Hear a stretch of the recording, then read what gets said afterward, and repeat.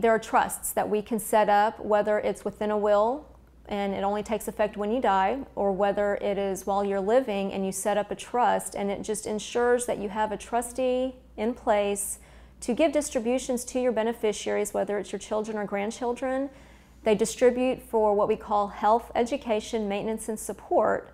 So it's flexible enough terms, but the child or grandchild doesn't get a lump sum of money outright to where they can do whatever they want with it.